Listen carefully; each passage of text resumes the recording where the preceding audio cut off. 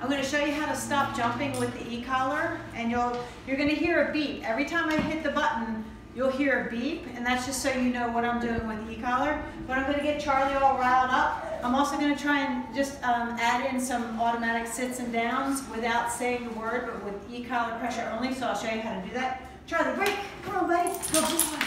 Charlie, good boy. So I want to get him all riled up. Come on, Charlie. Good boy. Come on, Charlie. So he's not going to do it right now, no problem. Sorry, now. So I just hit the button at level one. That's how low we're at. At level one is really good. Charlie, break, good boy. So right there, he jumped. You want to try and catch the jump before it happens, Charlie.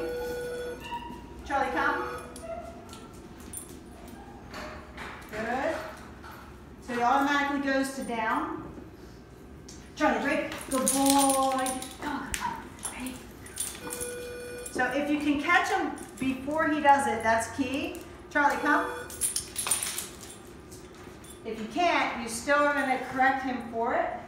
And then just turn him back off by putting him on place or put him in a down stay. Charlie, break. Now I'm just going to hit the button. Charlie. So, should try? I'm hitting the button without giving a command. I basically want him to, I'm dialing up now. Out. So by hitting the button, he's just to go, he's either going to go into a down stay where he is, or he'll move over to place, and that's just fine. So you don't always need a command, it's just a little tap tap. When you hit this button, it's kind of like tapping him on the shoulder and reminding him to do something, and that's what he did. He turned off. Okay.